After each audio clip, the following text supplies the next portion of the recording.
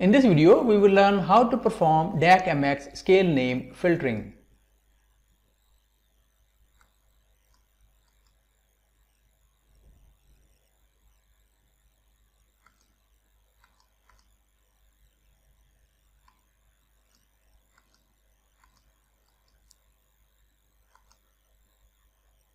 Allow undefined names allows us to enter an arbitrary string such as the name of a scale we created programmatically rather than through max.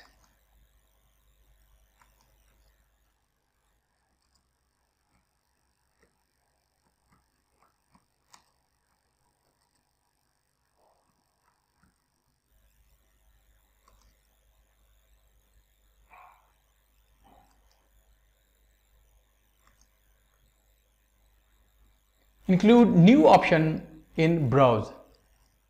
We can use this option to create a new scale in the browse dialog box.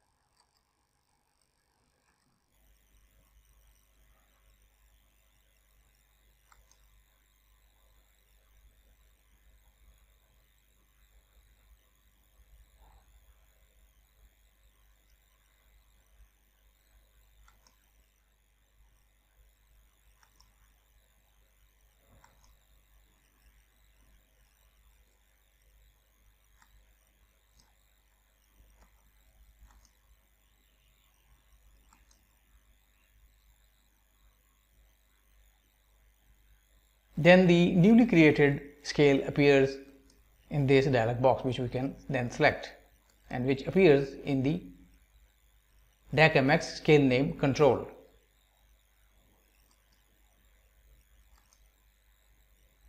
The last option is project filter options.